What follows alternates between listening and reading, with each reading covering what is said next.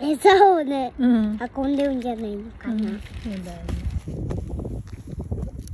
すごいねアリさん。いう味で踏んじゃった。アリさんもういないね。いるよこれ見穴てこれ。掘ってるね。穴掘ってるね。この人餌を取ってるんじゃない？そうだね。き今の人、この人餌を運んでるんじゃない？見て虫。どこに？ここ食べられちゃう。誰に？アリさんに。虫が？うん。いやー怖い。もううちに帰っちゃってるね、みんな。そうだね。アリさん優しい？どういうこと？アリさん指噛まない、うんママはねうん。小さい頃噛まれたよよく。アリの巣を壊して。昨日ママ踏んじゃって。食べられて泣いた？